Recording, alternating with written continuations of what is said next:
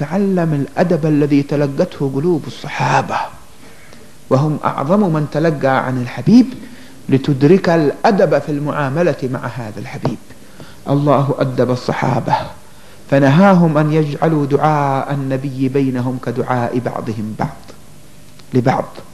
وأمرهم ألا يخاطبوه وألا ينادوه باسمه المجرد. وجعل الذين ينادونه من وراء الحجرات لا يعقلون.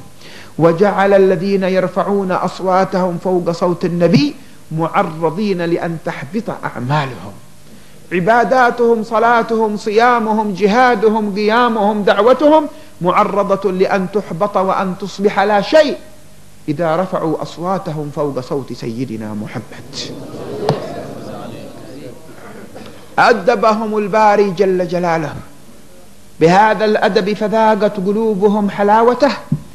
فارتقوا في معنى التعلق بحضرة حياته صلى الله عليه وآله وسلم مرتقا عاليا أوقفهم على أنهم يعيشون مع سيدنا محمد في حياته الدنيا حياة المتلقي المتعلق المحب المضطرب خلف محبوبه الذي إذا حضر أحدهم بين يديه حضر وهو منكس الرأس لا يكاد ينظر إلى حضرته. قلوب حية. عرفت التعامل مع حياة الحبيب. أكابر الصحابة ما استطاعوا أن يصفوا وجهه. والمتتبع منكم كتب السيرة والشمائل. يجد أن الصحابة الذين وصفوا وجه النبي وملامح صورته هم صغار الصحابة في السن أو الذين تربوا في بيته كالإمام علي بن أبي طالب أو هند بن أبي هالة ربيب رسول الله الذي كانت أمه السيدة خديجة. هؤلاء الذين وصفوا رسول الله. لكن هل تستطيع أن تسمع وصفا موصلا لرسول مفصلا لرسول الله من سيدنا أبي بكر من سيدنا عمر من سيدنا عثمان من أكابر الصحابة؟ لا لأنهم إذا جلسوا بين يديه لم يستطع أحدهم أن يحد بصره في وجه رسول الله. كأن على رؤوسهم الطير. إذا تكلم فكلهم آذان صاغية. وإذا أشار فكلهم خدم يستجيبون وإذا توضأ كادوا يقتتئون على فضلة وضوءه فمن وجد منه شيئا مسح ببلله وجهه ومن لم يجد أخذ من بلل كف صاحبه ومسح به وجهه. عاشوا معه في حياته الدنيا. على أن كل حركة له وسكنة من سكناته حياة لقلوبهم. يصلي فينقص من الصلاة ركعة فلا يجرؤ أحدهم أن يتكلم ويقول يا رسول الله لقد أنقصت ركعة. ويقوم من مجلسه ويجلس في آخر المسجد فيقوم إليه ذو البجادين أو ذو اليدين ذو البجادين. ويقول يا رسول الله أنقصت الصلاة أم أنك سهوت؟ حتى المتجرئ منهم لم يجر يقول يا رسول الله أنت أنقصت. لأنه ينظر إلى الحبيب أنه كامل في شؤونه كلها. أنقصت أم أنك سهوت يا رسول أحق ما يقول؟ فيقولون نعم. فيقوم ويتم الركعة. ثم يقول لهم إني نسيت. أنسيت. أنسيت ولم يقل نسيت. أنسيت لما؟ لأعلمكم في شؤوني فحتى في مظاهر الإخلال في الصورة التي تبرز منه هي حياة لكم ولقلوبكم لتتعلموا منه. لأنه لو لم يسهو لو لم ينسى كيف ستعرفون أحكام النسيان والسهو في الصلاة؟ فكان في مظهر سهوه وفي مظهر نسيانه نوع حياة لقلوبكم بأن تأخذوا نهجا تعاملون الله تعالى به في حال حصول السهو منكم.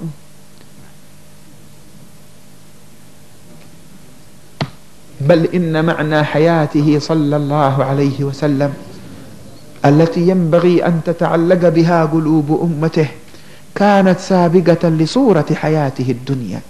فإن حياة المصطفى لم تبتدئ بولادة أمه له حتى نعتقد أنها انتهت بوفاته.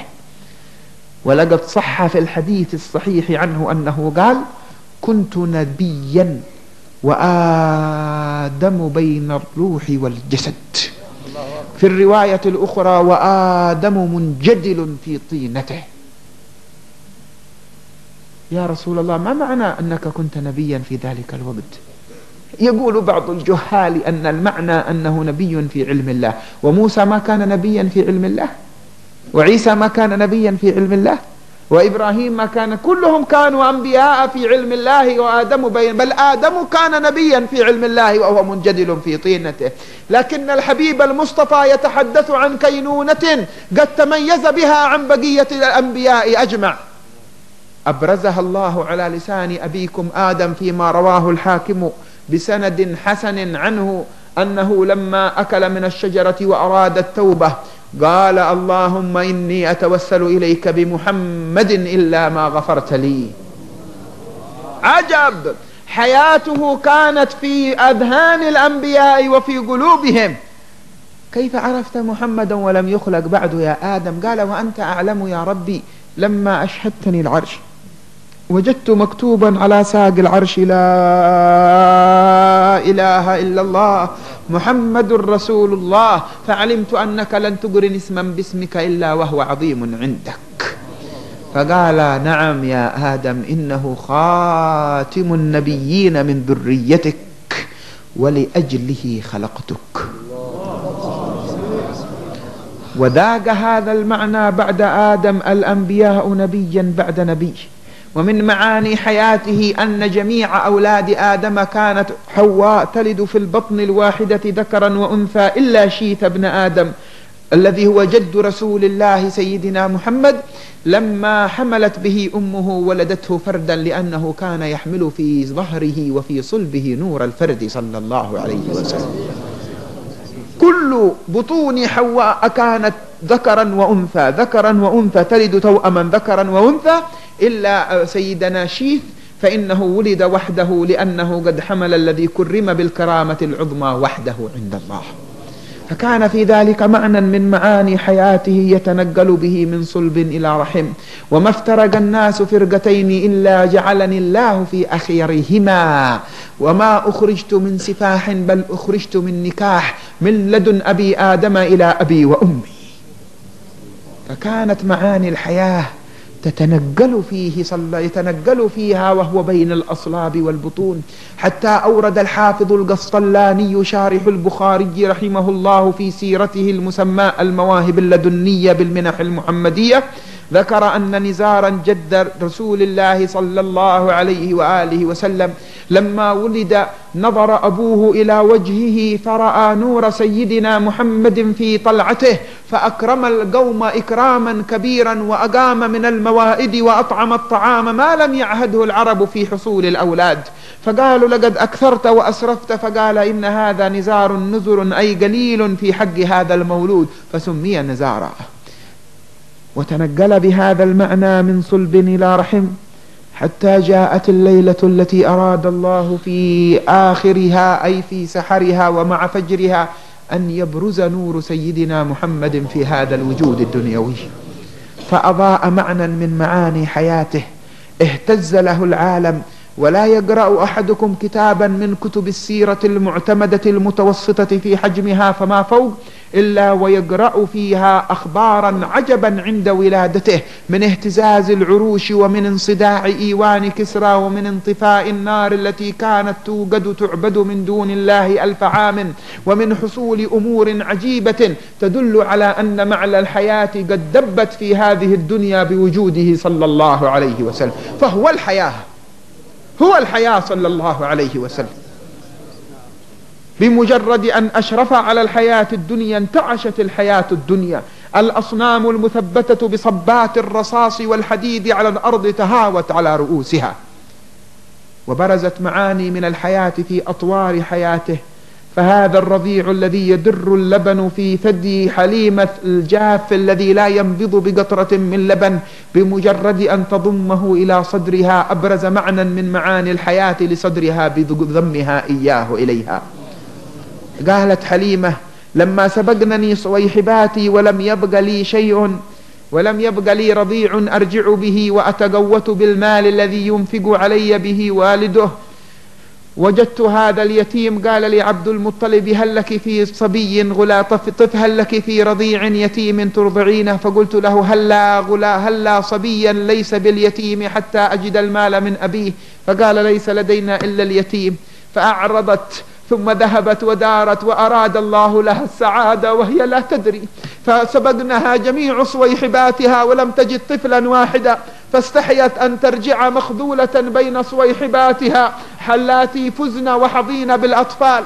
فاستأذنت زوجها فأذن لها فذهبا لينظرا إلى ذلكم اليتيم. قالت فدخلت على أمه آمنة. قالت فما أن نظرت إليه حتى انشرح صدري. معنى الحياة مرتبط به. حتى انشرح صدري. قالت فلما حملته وضممته إلى صدري فتح عينيه وفمه وتبسم فخرج نور من فمه لحق بعنان السماء. قالت ولقد بات ولدي أي ولدها من صلبها. يصيح يتضوع يتضوغ من الجوع يتضور من الجوع. لا أجد في صدري قطرة لبن تبض حتى أسد به جوعته. فوالله ما أن ضممت محمدا إلى صدري حتى امتلأ ثدياي باللبن وأخذ يقطر حتى بل ثوبي.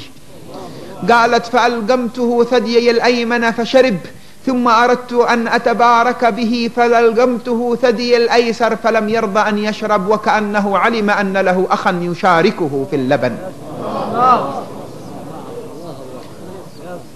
قالت فأقبلت وأنا أحمله على زوجي وكان لنا شارف. أي بغلة كانت لنا شارف أي ناقة. ليس فيها قطرة لبن وبت وزوجي نتضور من الجوع. فقام زوجي إلى الشارف فوجد ثديها قد امتبرعها قد امتلأ باللبن فشرب وشربت ورويت وروي قالت وكانت لي أتان أي دابة ضعيفة قد أخ تأخرت في آخر القافلة عند المجيء وكن النساء يصحن بي. هيا أسرعي فقد أخرتينا. ولما قربنا من مكة سبقنني إلى إلى إلى, إلى الرضاعة إلى أخذ صبياني بسبب تأخري شارب أتاني.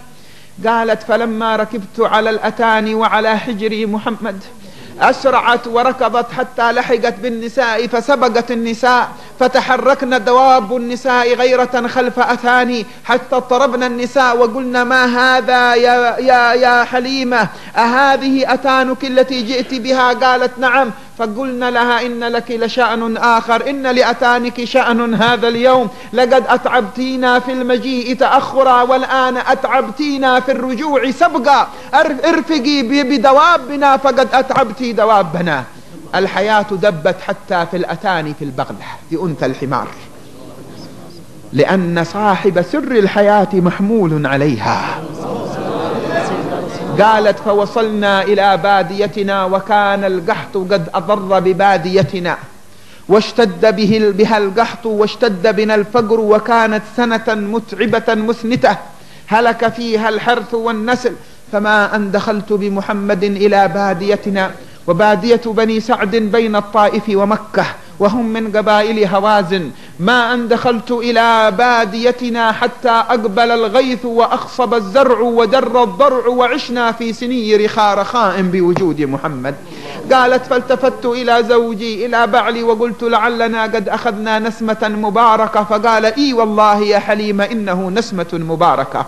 قالت وكا وكنا شياهي يخرجن إلى الرعي فيعدن سمينات وشياه صيحبات من الجيران يعدن جائعات فكن يقولن للرعاة ويحكم اخرجوا بأغنامنا إلى إلى المكان الذي تخرج إليه أغنام حليمة فإن أغنام حليمة تسمن فكانت أغنام حليمة تعود سمان وأغنام الأخريات يعدن وهن جياع.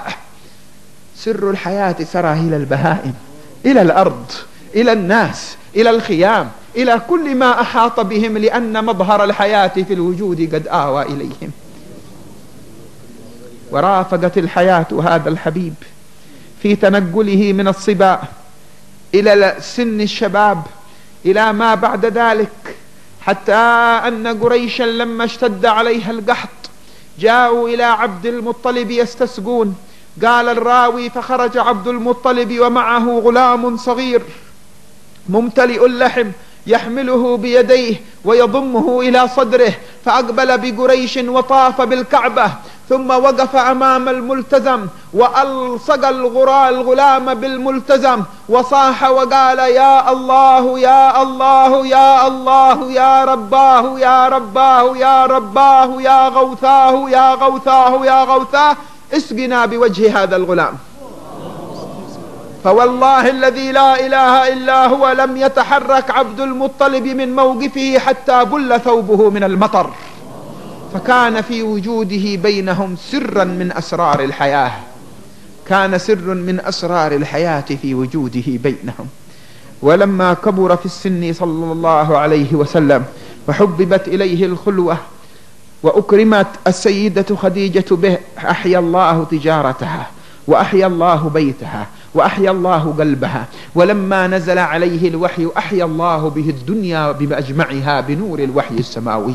فسر الحياة التي جاءت في وحي الله إنما أبرزت لهذه الأرض على لسانه صلى الله عليه وسلم. فإذا علمنا أن معاني الحياة لازمت الحبيب ونبعت منه وعادت إليه قبل وجوده في الحياة الدنيا. عرفنا أن معنى حياة سيدنا محمد ليست مقصورة على المدة التي عاشها ثلاثا وستين سنة في الدنيا. وعرفنا إذا سمعنا أخبار انتقاله إلى الرفيق الأعلى التي يحلو للكثير ذكرها دون أن يستشعروا معنى الارتباط فيها بمحبته وبدوام حياته. إذا جئنا إلى ذكر انتقاله إلى الرفيق الأعلى وجدنا معان من الحياة قد أبرزها الله في انتقاله. فلقد جاء أنه لما حج في حجة الوداع وودع أمته وقال أيها الناس اسمعوا وعوا فلعلي لا ألقاكم بعد عامي هذا. فأنصت الناس وتعدادهم يزيد على المئة والعشرين ألفا. وأصغوا إلى الحبيب يسمعونه جميعهم. فأوصاهم ووصاهم وربطهم بمعاني صلتهم بربهم ودينهم. وأنزل الله عليه في ذلك الموقف اليوم أكملت لكم دينكم وأتممت عليكم نعمتي ورضيت لكم الإسلام دينا. فأحيا فيهم معاني الحياة العظمى بموقفه هذا وهو يودع. فكان وداعه حياة لأمته من بعده. ثم عاد إلى المدينة وأتى شهر ربيع الأول والحبيب صلى الله عليه وآله وسلم يجد في أوائل أيامه ثقلا في بدنه وحمى تعتريه تلحقه بالأرض يسقط على الأرض من ثقلها ويضمد بالماء البارد ويصب عليه الماء من القرب التي طلب أن يصب عليه منها الماء وهي سبع قرب لم تحل أوكيتهن. فقال صلى الله عليه وآله وسلم صبوا علي الماء منهن فلعلي أخرج فأودع أصحابي. وصب عليه من ذلك الماء فوجد نشاطا في نفسه. وخرج روحي له الفداء يخط بقدميه على الأرض من ثقل المرض يتهادى بين الإمام علي بن أبي طالب والفضل بن العباس رضي الله عنهم وأقبل على الصحابة فقاموا فرحا إليه لما أقبل وجلس على آخر درجات منبره الشريف فأقبل عليه الصحابة ينصتون فخطبهم خطبة المودع ثم قال لهم إن رجلا قد خير بين بين الحياة الدنيا وبين وبين الرفيق الأعلى فاختار الرفيق الأعلى. الرفيق الأعلى الرفيق الأعلى. هل الرفيق الأعلى انتهاء للحياة يا أصحاب العقول؟ هل الصلة بالرفيق الأعلى انقضاء للحياة؟ الصلة بالرفيق الأعلى هي عين الحياة. فاختار الرفيق الأعلى فضج الصديق بأبي أنت وأمي يا رسول الله. أرواحنا وأولادنا وأهلنا وأموالنا لك الفداء. قال أبو سعيد الخدري رضي الله خدري رضي الله عنه وأرضاه. فقلت ما لهذا الشيخ؟ أخرف؟ يعني سيدنا أبا بكر. رسول الله يكلمنا عن رجل وهو يعتقد أن المقصود رسول الله. قال فعلمت بعد وفاة رسول الله أن أبا بكر قد سبقنا أن أبا بكر قد سبقنا. فقال فداك أبي وأمي يا رسول الله. فداك أرواحنا وأبناؤنا وأهلنا وأموالنا فالتفت إليه المصطفى ونظر إليه نظرة. هي النظرة إن قيل نظرة. وقال دعوا لي صاحبي. إن أمنكم علي في الإسلام أبو بكر. لو كنت متخذا خليلا لاتخذت أبا بكر خليلا. سدوا كل خوخة أي فتحة من بيوتكم إلى المسجد إلا خوخة أبي بكر. ثم قال قيل له يا رسول الله أوصنا. فكان مما أوصى به قوله استوصوا بالنساء خيرا. وهذا معنى راق من الحياة يودعنا عليه أن يقيم معنا من معاني صلتنا ببعضنا البعض فيها بقاء حياتنا الصورية الدنيوية لتتحول إلى حقيقة حياة إن أقمنا الصلة على وصف الإحسان. واستوصوا بآل بيتي خيرا ليحيينا بذلك حياة تتصل بحضرته. لما قال أهل بيتي نسبها إلى حضرته. ليعلمنا أن انتقاله من الدنيا لا يعني انقطاع صلتنا بحضرته. استوصوا بآل بيتي أي أن معاني صلتكم بي تبقى ما بقي آل بيتي بين ظهرانيكم. وأوصاهم وقال لا تعودوا بعدي كفارا يضرب بعضكم رقاب بعض. وأوصاهم بما أوصاهم به. فقال بعضهم يا رسول الله إن أنت مت فمن يغسلك? فقال نفر من أهل بيتي. فقالوا وقد أشفقوا واستشعروا معنى الاقتراب الفراق الذي بينه وبين رسول الله. فقالوا وفيما نكفنك فسالت دمعته لما رأى إشفاق أصحابه صلى الله عليه وسلم فقال في ثوبي هذا أو في كفن يماني أو في جبة شامية أو قطن مصري. فقالوا يا رسول الله فمن يتولى دفنك؟ قال نفر من آل بيتي. فأخذوا يسألونه فلما أكثروا عليه السؤال في شؤون تجهيزه وانتقاله بكى صلى الله عليه وآله وسلم وقال ترفقوا بنبيكم. وقام صلى الله عليه وآله وسلم ودخل إلى بيته تخط قدماه وآوى إلى فراشه وأزداد قلق الصحابة فتركوا أعمالهم وشؤونهم وأحاطوا ببيت رسول الله جلوسا عند مسجده يرتقبون الخبر ودنا وقت الصلاة فلم يخرج إمامهم ليصلي بهم. فأشفق الصحابة فقال الحبيب المصطفى للصديقة عائشة مروا أبا بكر فليصلي بالناس.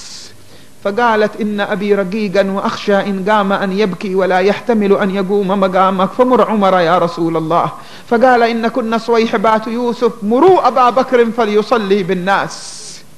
فأمر أبا بكر فقام وصلى بالناس فرضا وآخر وثالث ورابع. ثم وجد صلى الله عليه وآله وسلم في يوم الاثنين الثاني عشر من ربيع الأول من نفسه خفة في وقت صلاة الفجر فرفع الستار عن باب بيته وأطل بوجهه ينظر إلى أصحابه رضي الله عنهم وأرضاهم وهم يصلون صفوفا خضعا خشعا لربهم خلف الصديق فأضاء المسجد من نور طلعته عندما أشرف عليهم. حتى قال بعض الصحابة لقد كدنا أن نفتن في صلاتنا لما أقبل رسول الله فأراد أبو بكر أن يتراجع وأراد الصحابة أن يتلفتوا فأشار بيده الكريمة إليهم أن مكانكم ثم أرخى ستار بيته الذي على مدخل بيته.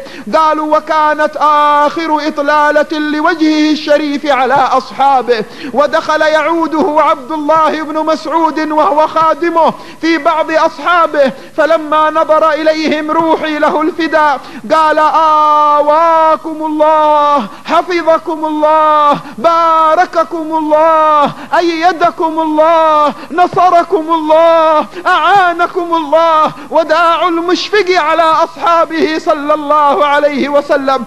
ثم سلموا عليه وخرجوا. قال صلى الله قال الراوي فوجد الصحابة فرحا لما رأوا إطلالته من على باب منزله وظنوا أن النشاط قد دب في جسمه فتفرق بعضهم إلى أعمالهم ولعل ذلك من رحمة الله تعالى بهم. قالت السيدة عائشة وكان قد استأذن أن يمرض في بيتها من بقية الزوجات فأذن له. وجاء ذلك اليوم في يوم الاثنين وكان يومها. قالت قبض رسول الله في حجرتي في يومي بين صدري ونحري قالت وكنا جلوس فأقبلت فاطمة تبكي. لا تخطئ مشيتها مشية أبيها. فأكبت عليه وقبلته فقبلها. فأسرها في أذن فأسر إليها في أذنها فرفعت رأسها وهي تبكي وعلى نشيجها. ثم أشار إليها فأكبت عليه مرة أخرى فرفعت رأسها وهي تضحك.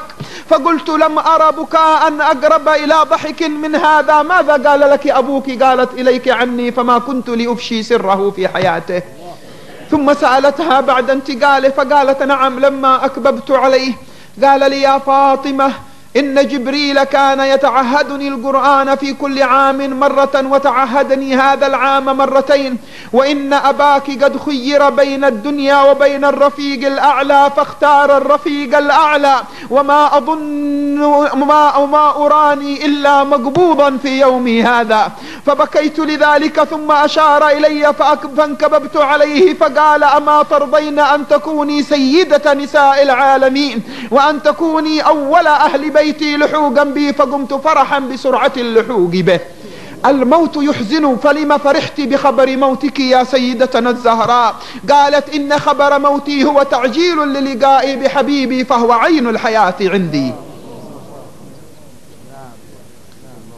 قالت السيدة عائشة وكنا من قبل شعرنا بحركة عند الباب نعهد جبريل يحدثها إذا أراد الدخول.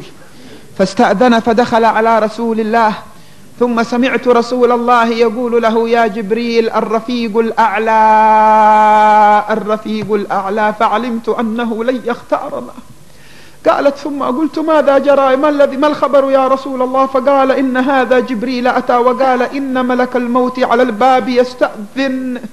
وإنه لم يستأذن أحدا من قبلك ولن يستأذن أحدا من بعدك. وإنه يقول إن الله يقول يقرئك السلام ويقول لك إن ربك قد اشتاق إليك. أفيكون انقلابه إلى ربه المشتاق إليه موتا يا أصحاب العقول؟ إن عين الحياة هي الانقلاب إلى الحي جل جلاله وتعالت عظمته فلو شئت قبض روحك فألحقك بالرفيق الأعلى. وإن شئت أبقاك ما شئت من الزمن. فاختار الرفيق الأعلى. ثم دخل ملك الموت. فألقى السلام على سيد الأنام. وقال يا رسول الله أتأذن لي؟ قال دونك يا ملك الموت. وترفق بقبض روحي. إيه. إيه سيد الخلق صلى الله عليه وسلم. يقول لملك الموت فترفق بي يا أخي يا ملك الموت. رسول الله يشفق من الموت وآلامه فما حال الغفل الأموات وهم في صورة الأحياء؟ لم يفكروا ساعة في ساعة النزع وما يحصل من سكرات الموت. فأخذ ملك الموت ومن معه من الملائكة المشرفين بعلاج روح أشرف الخلق. ينازعون أشرف وأطهر وأقدس روح في هذا الوجود. من أخمص قدميه وبدأ العرق يتصبب من الجبهة الطاهرة كأنه حبات اللؤلؤ بريح المسك. والحبيب يمسح العرق من جبهته ويضع يده في إناء من الماء بجانبه يتبرد به. وهو يقول آه آه.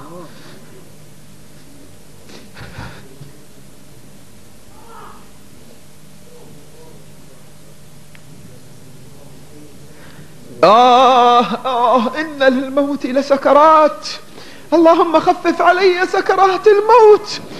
فينزل عليه ملك من السماء يقول له يا رسول الله إن السلام يقرئك السلام ويقول لك إنه قد خفف عنك سكرات الموت بضعا وعشرين سكرة وفي رواية بضعا وسبعين سكرة السكرة الواحدة أشد من تقطيع السيف فبكى روحي له الفداء.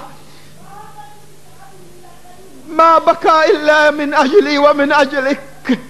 قال اللهم ثقل علي وخفف على أمتي. ثقل علي وخفف على أمتي. ثقل علي وخفف على أمتي. كيف لا تهتز قلوبنا شوقا إليه؟ كيف لا نفديه بأرواحنا؟ كيف لا نفني أعمارنا في محبته؟ كيف لا نملأ قلوبنا شوقا إليه؟ كيف لا تهتز جوانحنا عند ذكره؟ Ha ha ha!